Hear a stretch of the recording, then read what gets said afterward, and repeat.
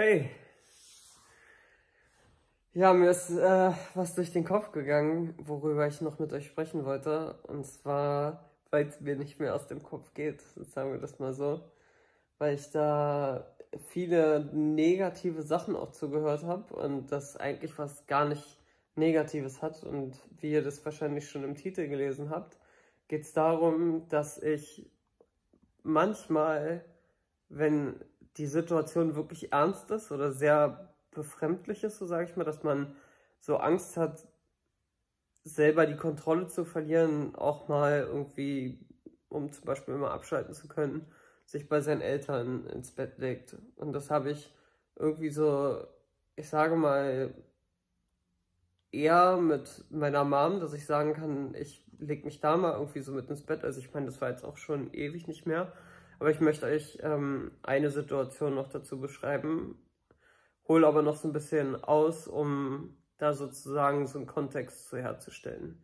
Und zwar weiß ich auch von meinen Eltern, dass, oder von meinem Vater speziell, dass der nicht immer unbedingt die beste Beziehung zu seinen Eltern hatte und deswegen froh war, als er dann endlich ausgezogen ist und so und ähm, die ihm dann damals, oder speziell sein Papa, ihm dann damals nicht mehr so viel anhaben konnte.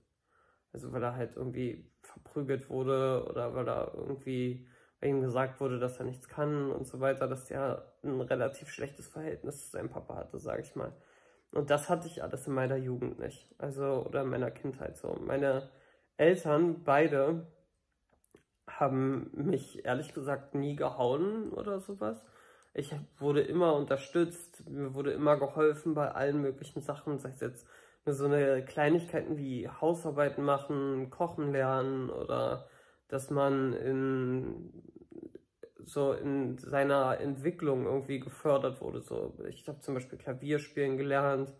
Mein Papa, also keine Ahnung, ob ich das heute noch kann, ne? aber mein Papa hat mir dann auch zu Hause so ein kleines Studio eingerichtet gehabt, hat mir gezeigt, wie, wie man Unternehmen führt und so und alles, was man irgendwie, also auch wenn das jetzt bei mir sicherlich auch alles nicht perfekt ist, aber meine Eltern, würde ich mal sagen, haben da sehr viel Mühe reingesteckt, dass ich wieder richtig funktioniere sage ich mal so. Und mit meinem ähm, kleinen Bruder, also wenn wir das beide, glaube ich, zusammenrechnen würden, hat mein kleiner Bruder einmal von meinem Papa einen Arsch voll bekommen und ich von meiner Mutter. Und einmal, also ich kann mich nur so an diese Situation erinnern, dass ich einfach, da sind wir aus dem Bus ausgestiegen und dann bin ich einfach auf die Straße gerannt und da hätte mich fast ein Auto erwischt.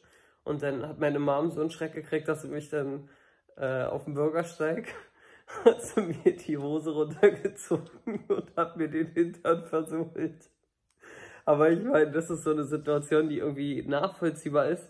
So von wegen, ey, das machst du nie wieder. Und das glaube ich seitdem auch nicht mehr passiert. Aber worauf ich eigentlich hinaus will, also die Geschichte sozusagen, die ich euch dazu erzählen möchte, ist nämlich die, dass ich ähm, während meiner ersten Krebstherapie, also und aber auch bei der zweiten, relativ weit zum Anfang hatte ich auch so eine Phase, wie ich jetzt eine ähnliche Phase habe, nur auf eine andere Art und Weise. Nämlich, dass ich wirklich nicht mehr richtig atmen konnte, weil meine Lunge das nicht irgendwie so richtig verarbeitet hat oder irgendwie sowas. Und deswegen bin ich so plötzlich, so manchmal über zwei, drei Tage hinweg sehr kurzatmig gewesen. Und ähm, konnte dementsprechend nicht schlafen, weil ich mir dann irgendwie selber, und ihr kennt ja auch so eine Kopfsachen, eingeredet hatte, dass ich ähm, in der Nacht vielleicht ersticken könnte. Und das war auch ehrlich gesagt gar nicht so abwägen, äh, abwegig, weil der Körper durch diese Chemotherapie, auch die ich damals bekommen habe, irgendwie Ausfallerscheinungen hat, wenn man so Taubheitsgeschichten irgendwo hat und das dann auch im Körper irgendwie hat, dass bestimmte Organe nicht mehr richtig reagieren und sowas. Und deswegen konnte ich halt nicht mehr richtig schlafen. Ich habe hier die ganze Zeit immer wach gesessen und habe mich selber irgendwie nicht so getraut einzuschlafen, weil ich immer dachte, so von wegen, das kann halt auch irgendwie Ende bedeuten. Also ich weiß nicht, wie real das wirklich so ist, aber dass der Körper vielleicht dann irgendwie mit irgendwas aufhört, aber ich habe das halt immer wieder gehört und deswegen, wie gesagt, konnte ich einfach nicht mehr schlafen.